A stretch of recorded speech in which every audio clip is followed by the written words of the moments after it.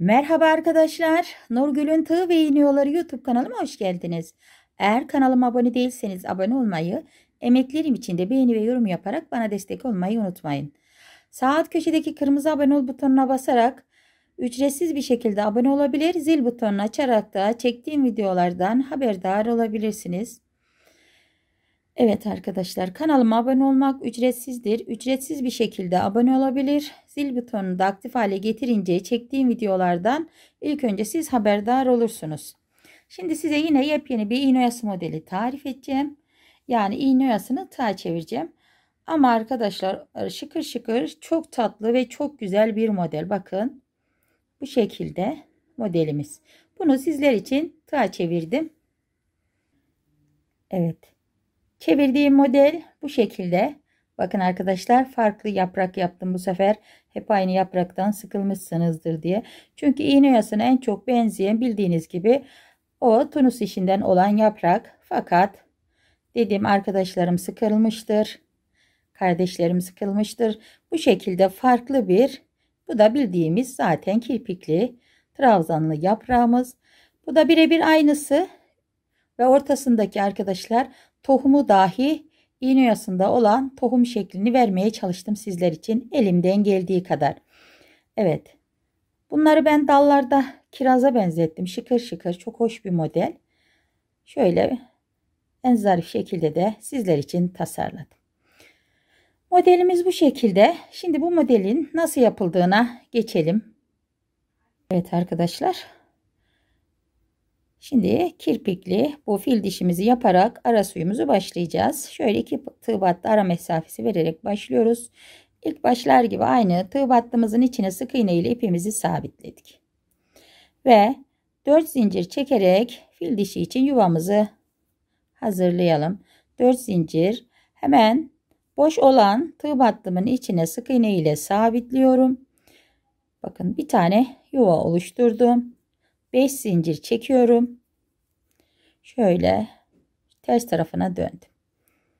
Hemen bu 4 zincirli tığ battının içine sık iğne ile bu şekilde sabitliyorum. Buraya 6 tane zincir çekerek ilk kirpiğimizi yapıyoruz. Şöyle dönüşte bir tane ip yediği için arkadaşlar bakın bu şekilde daha aynı 5 zincirli aynı boyutta oluyor. İlk kirpiğimizi 6 çekiyorum. Diğer iki kirpiğimizi 5 zincirden. Evet. 5 zincir. Hemen yaptığımız yuvanın içine buraya sık iğne ile sabitliyorum. Yine 5 zincir. Bakın, aynı yuvanın içine 3 tane kirpiğimizi hazırladık. Evet. Fil dişi kirpiğimiz bu şekilde Şimdi 5 tane de zincir çekip boş olan bir sonraki buraya tığ battımın içine giriyorum. Sık iğne ile sabitliyorum. Bu şekilde hazır fil dişilerimiz. Şimdi 6 tane arkadaşlar buraya tığ battı yapacağım. 3 zincirimi çektim. Hemen sık iğne ile sabitledim. 3 zincir sıradaki tığ battımın içine sık iğne ile sabitliyorum. 3 zincir sahte sık iğne ile yapıyorum arkadaşlar. Biliyorsunuz zürafa gibi duruyor. İğne bu tığ battıların ismi zürafa. 3 zincirimi çektim. Hemen tığ battımı yaptım. 6 tane bize tığ battısı lazım. Sonuncu tığ battımız ve sık iğne ile sabitliyorum. Şöyle bir zinciri çekip hemen ters tarafına çevirdim. Tığ battımın içine girip sık iğne ile bu şekilde geri döndüm. Şimdi yapraklarımız için buraya direkt yuva yapıyoruz. 6 tane zincir çekiyorum. Yaprağımız biraz irice olduğu için zincir sayımız bir fazla oluyor arkadaşlar. Her zaman 5 yapardık veya 4 yapardık. Tekrar 6 zincir hemen bir yanındaki tığ battıya bu şekilde sabitliyorum. Burada 3 tane bu şekilde tığ battı kalıyor. Şöyle iki zincirli tekrar düz yüzüne dönüyoruz. Şöyle bir defa doladım. 6 zincirli yuvaya girip 2 2 alarak bu şekilde buraya minik bir trabzan yaptım. 4 zincir 4 zincirimi trabzanımın arasına girip bu şekilde kapattım. 2 defa tığımın başını doluyorum. Bakın her trabzanda bir tığ dolaması artırıyorum. 2 2 2 tekrar 4 zincir ve trabzanın arasına kirpiğini yapıyorum. Bir tane daha artırıp dolamamı 3'e çıkarıyorum ve ana yuvamın içine girip 2 2 2 2 alarak bu şekilde 3. trabzanımı yaptım. Gonca sayım, tomurcuk sayım yine 4 tane arkadaşlar. Bakın hepsinin tomurcuk sayısı 4 zincir. Son olarak 4 defa tığımı doladım. Aynı şekilde girdim. Şöyle 2 2 2 2 2 alarak sonuncu trabzanımı yaptım. Şimdi dördüncü tomurcuğum için bu şekilde buraya kapatıyorum. Geriye kalan kısma trabzanıma sık iğne yaparak aşağıya iniyorum. Trabzanın arasına girip bir ilmek aldım. Tığımdakinden geçip sık iğne ile sabitledim. Toplamda 8 tane oluyor. Şöyle biraz bombilili sık iğne güzel duruyor. İğne yasında da bu şekildeydi. Bombilili bir sık iğneydi arkadaşlar. Kabarıktı yani sık iğnesi. Evet.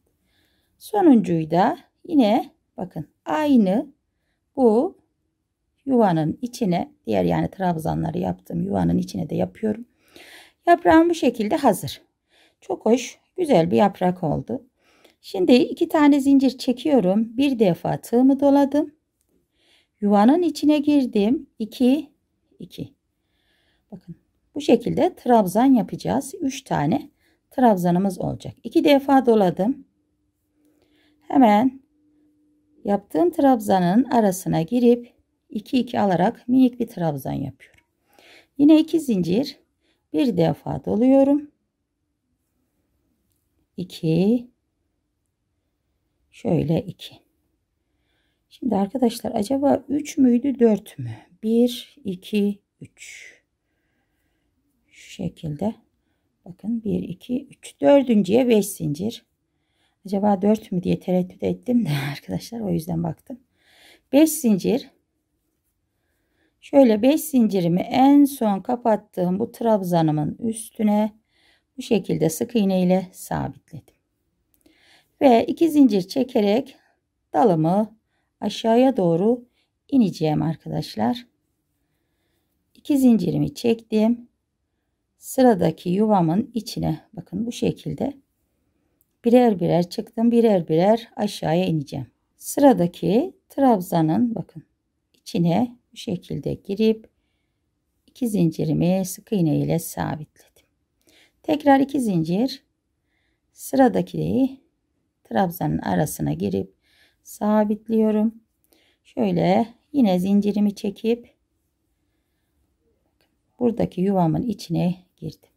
Şimdi arkadaşlar dalımızın boyutu bu kadar. Şöyle diğerine geçerken iki tane sık iğne yapıyorum. Bunun nedeni de Şöyle dallarımız birbirine bakın. Şu dallarımız birbirine e, çiçeklerimiz yakın olmaması için. Buraya iki tane yaptım. Karşıya da iki tane yapacağım. Şöyle bakın. Altı zincirli yuvaya girip bu birinci sık iğnem ama şöyle yaprağıma yer kalsın diye dibe çekiyorum iyice ve sık iğne ile sabitliyorum. Şimdi bu dalı yaptık ya arkadaşlar. Bu dalın aynısından buraya da yapıp Yaprağı yönünü buraya nasıl bakıttım onu tarif edeyim. Evet dalımızı aynısı gibi trabzan yaparak hazırladım. Yaprak yuvası için yani tersten yapacağımız için 5 zincir çekiyorum. Şöyle bakın bu 5 zincir mesafesi gibi. Şu tığ battının içinden tülbente değil de hani dönüşüm için yaptığımız tığ battının içine sık iğne ile sabitledim. Bakın burada bu şekilde yuva oluştu. İki zincirimi çekip döndüm. Bunu yapmamızın amacı bu sık iğneli taraf bu tarafa gelmesi. Karşılıklı böyle bakması için.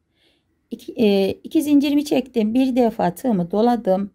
Aynı o yaprakta ne yaptıysam arkadaşlar bu şekilde bu yaprakta da yapıyorum. Şöyle tekrar yapalım. Bir defa tığımı doladım.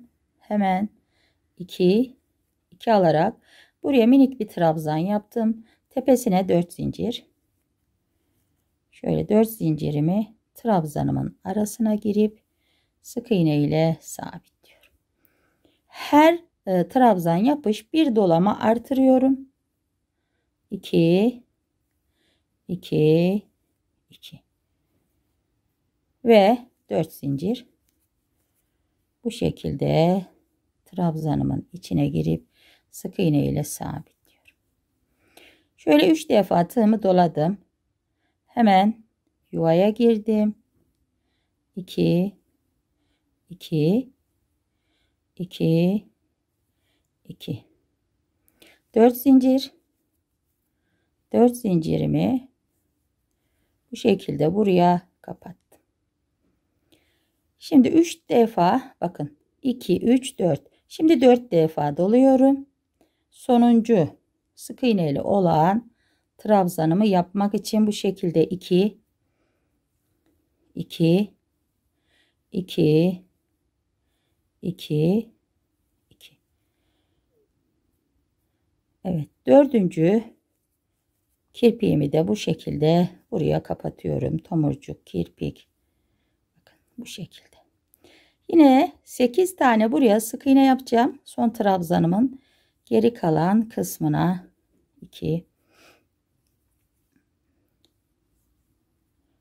3 4 5 6 7 ve 8 bu şekilde trabzanın tamamını yaptık. Şöyle rahat göresiniz diye yatırmıştım arkadaşlar sonuncu sık iğnemi de bu şekilde bakın buraya trabzanıma sık iğne ile şey yuvama ana yuvama sık iğne ile sabitleyip şöyle yuvaya girmiş olduk.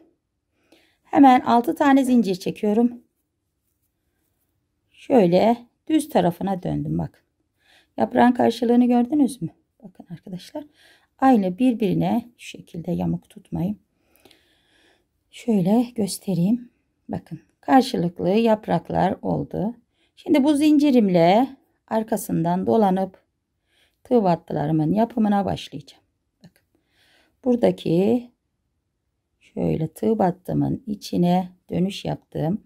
Tığ battımın içine sık iğne ile bu şekilde sabitliyorum. Ve 3 tane zincir çekiyorum. Tığ battılarımızın yapımına başlıyoruz.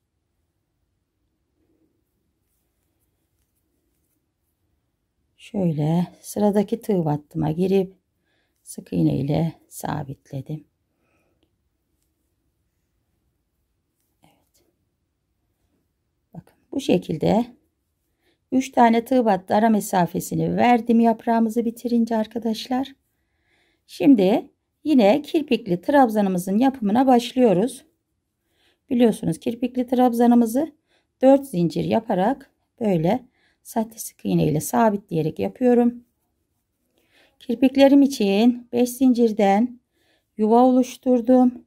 Sık iğne ile sabitledim. 4 5 6 döndüm. Sık iğne ile buraya sabitledim. 5 zincirimi çektim. 1 2 3 4 5 ve sık iğne ile sabitledim. Bu şekilde 5 zincirimi çektim. Hemen bakın bir yanındaki tığ battımın içine sık iğne ile sabitliyorum. Arasına da arkadaşlar şöyle iki tane tığ battı veriyorum. 1 2 3 zincir kapattım. Evet bakın bu şekilde arkadaşlar ara suyunu tekrar da göstermiş oldum. Şimdi kirazımız ben kiraza benzettim. Kirazımızın yapımına geçelim. Evet arkadaşlar. Bakın bu 5 zincirli yuvamızın içine ipimizi sık iğne ile sabitliyoruz. Şöyle 2 zincir çekerek yuvamızı oluşturuyoruz. Bu birinci. Tekrar 2 zincirimi çekiyorum. Yuvamı oluşturdum. 3 zincir çekiyorum. Ve ters tarafına döndüm. Hemen yuvanın içine giriyorum. Şöyle sahte sık iğne ile kapattım köşede bir yuva. Tekrar 3 zincirimi çektim. Hemen bakın yuvamın içine girip sık iğne ile buraya sabitledim. Tekrar 3 zincir ama arkadaşlar şöyle bakın benimkiler bile bol oldu. Şöyle söküyorum.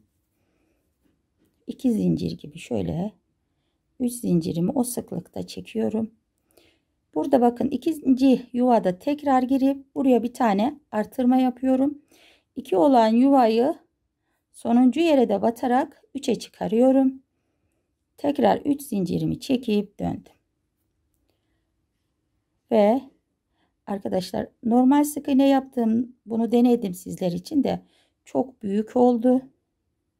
O yüzden tekrar bunu sahte sık iğne ile daha zarif hale getirerek sizler için bu şekilde tasarladım. Ben büyük seviyorum diyorsanız hani zaten bu da çok küçük değil. Orta büyüklükte. Bakın bu şekilde sonuncu yuvamın da içine girip sık iğne ile sabitledim. Bunu normal sık iğne ile de yapabilirsiniz. Sözüm yarı kaldı. Bakın yine burada artırma yapıyorum. Sonuncu yuvamın içine girdim. Ve sık iğne ile buraya sabit. Yine 3 zincir çekerek şöyle döndüm. Bakın bu şekilde. Ve yuvanın içine bu artırma yaptığım yuvanın içine bir tane yuva yaptım 4 zincirimle. Sıkı sıkı şöyle ipi de esnettim. Onu da söyleyeyim tekrar. Bu şekilde girerek yuvalar hazırlıyorum bakın. 2 ve 3. Sonuncu yuvama da geldim. Sonlarda biliyorsunuz arkadaşlar. Bu şekilde fazladan bir tane daha yuva yaparak artırma işlemi yapıyorum. Ve 5. yuvamı da bu şekilde sonuncu yuvamın içine girip sık iğne ile sabitleyip artırma işlemini yapıyorum. Evet bakın 5 tane oldu bu şekilde. Şimdi ben bu 5'i düşürüp 4'e, 3'e, 2'ye, 1'e, şey 2'ye kadar düşüreceğim. ne yaptım 1'e kadar. Şimdi buraya giriyorum. Son artırma yaptığım yuvanın içine girip sık iğne ile sabitliyorum.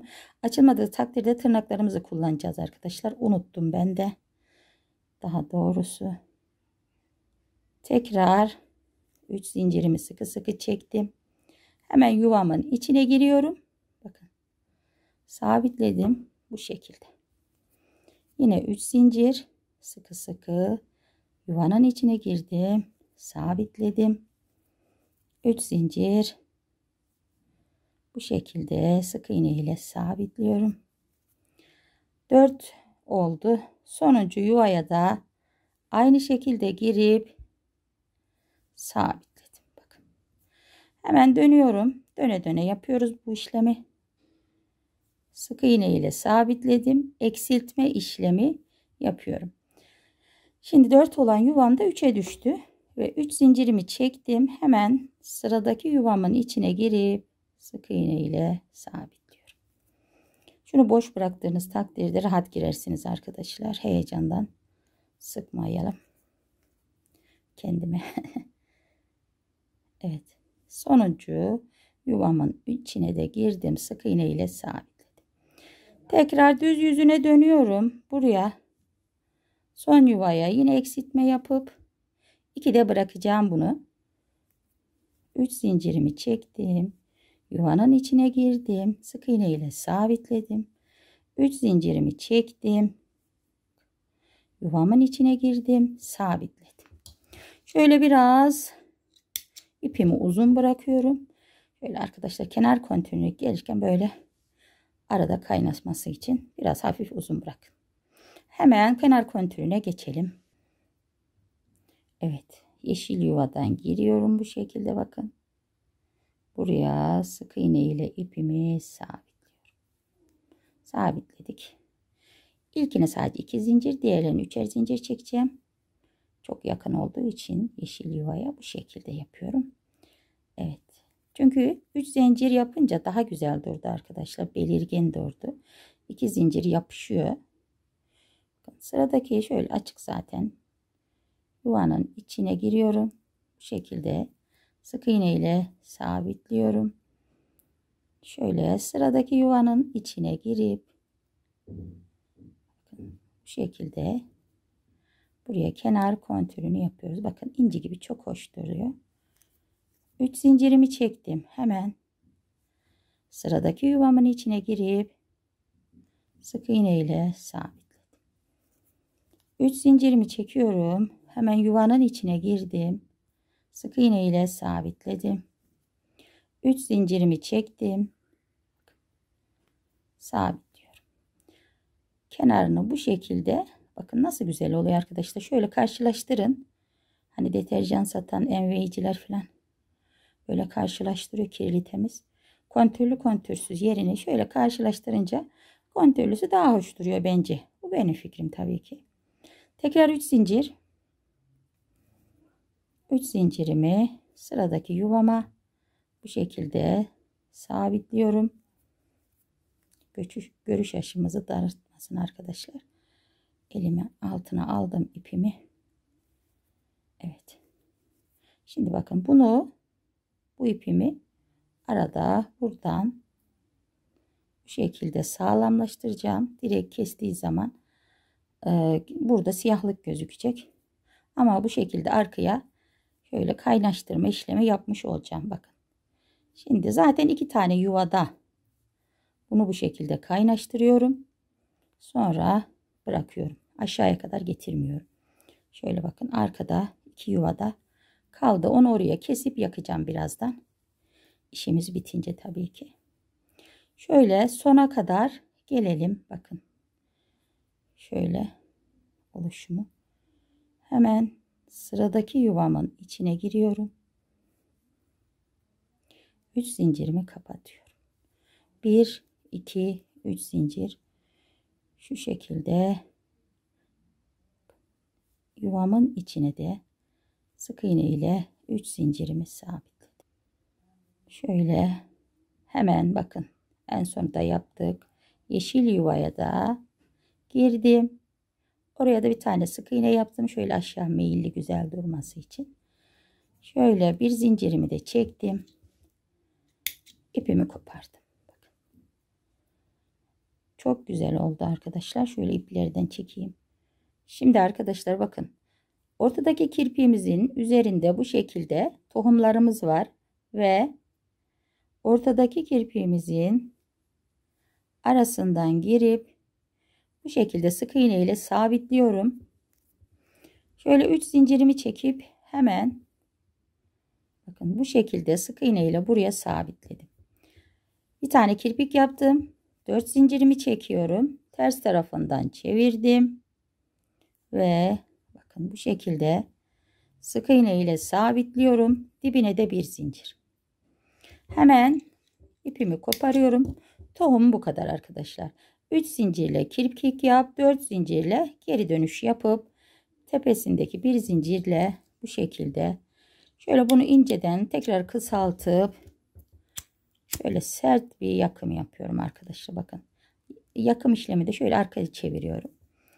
Evet bu şekilde de minik minik böyle kırmızı tohumlar atıyoruz arasına. Şimdi siyah tohuma geçelim. Evet arkadaşlar şu şekilde bakın düğümümüzü atıp ucunu yakalım güzelce.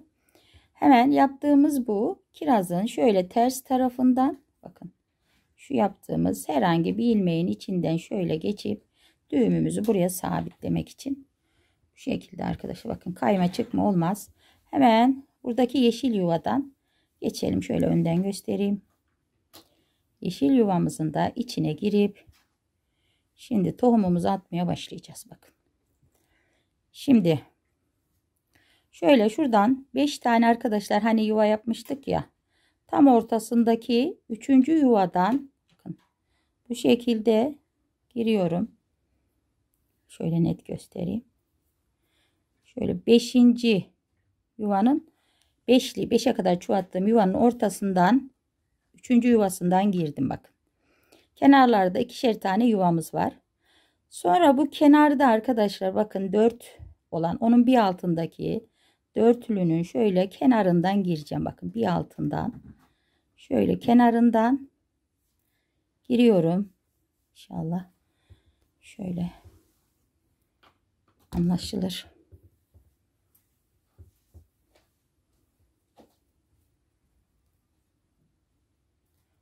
Evet. Şöyle bu şekilde bakın.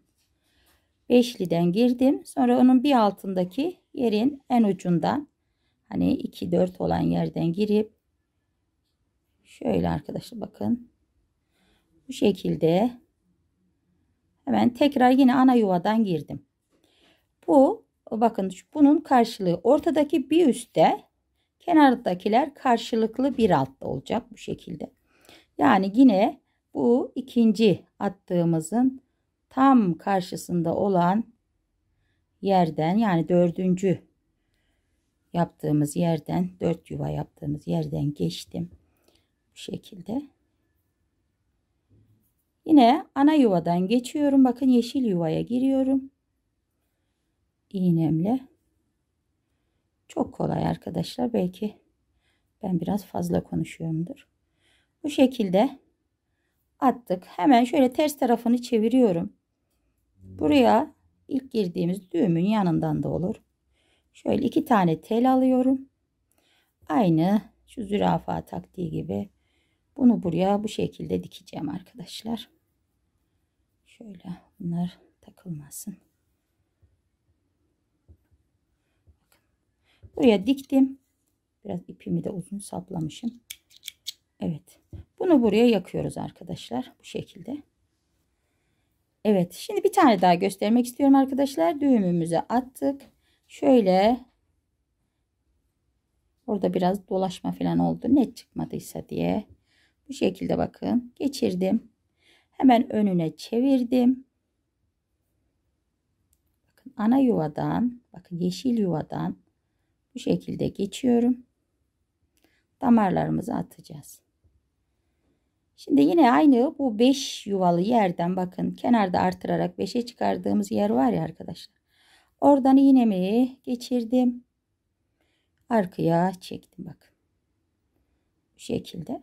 Şimdi onun bir altından 4'e kadar çoğalttığımız yerden şöyle bir şekilde hemen giriyorum. Yuvadan giriyorum. 5 olan yerden 3. yuvadan girdim. Bir alttaki 4 olan yerlerinde başlarından giriyorum iğnemle arkadaşlar. Şöyle. Şimdi bu bunun karşılığında olacak. Bakın bu burada olacak arkadaşlar. Aynı şekilde onun karşılığı olan bu 4 tane artırılan ilk yuvadan girdim. Şöyle iğnemi çektim. Hemen ana yuvadan da bu şekilde girdim. Bakın. Çok hoş oldu. Ayrı bir hareket verdi arkadaşlar. Ee, asıl e, püf noktasının yani nokta vuruşu, nokta atışı dediğimiz şeyin bu ayaklar olduğunu düşünüyorum. Ahengi verdiğini. Bu e, unutmayın arkadaşlar. Yani bunsuz olmaz. Muhakkak bu damarları atın. Aynı şekilde bakın buraya dikeceğim bunu. Aynı e, zürafa taktiği hani iğne oyasında olan. Onunla dikeceğim. Buraya bu şekilde şöyle bir geçiş yapıyorum. sıktırdım. Siz bunu 2-3 defa yapabilirsiniz. Benimki örnek amaçlı biliyorsunuz.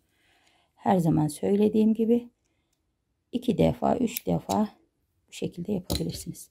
Hemen bunu yakıp geliyorum arkadaşlar. Evet arkadaşlar bakın şu oyanın asaletine şöyle göstereyim her ayrıntısını bakın. Şimdi arkadaşlar bu kırmızı her şeye çok güzel yakışıyor fakat siyaha da ayrı bir yakışıyor. Ayrı bir zerafet, ayrı bir asaleti olduğunu düşünüyorum. Evet şıkır şıkır çok tatlı bir model. Modeli görür görmez şöyle aşık oldum arkadaşlar dedim hemen bu aşkı sizlerle paylaşmalıyım. Bakın. Yani gerçekten mübalağa etmiyorum. Çok hoş ve çok zarif oldu bence. Çok da güzel oldu. Ben çok beğendim. Siz de eğer beğenerek yaparsanız sevinirim arkadaşlar. Bakın şundaki zerafeti. Bu zerafeti veren de biliyorsunuz arkadaşlar. Ee, buralar sizde 3 zincirle büyük oluyorsa buralar 2 zincir çekerek hepsini yani 2 e, zincir çekerek sahte sık iğne ile yaptığınız takdirde sizde ne kadar çektirsek de arkadaşlar ipimizi bu sahte iğnenin verdiği zarafet yani bir başka oluyor gerçekten. Bu şekilde modelim yapacak arkadaşlarıma da kolay gelsin. Allah'a emanet olun arkadaşlar. Hoşçakalın.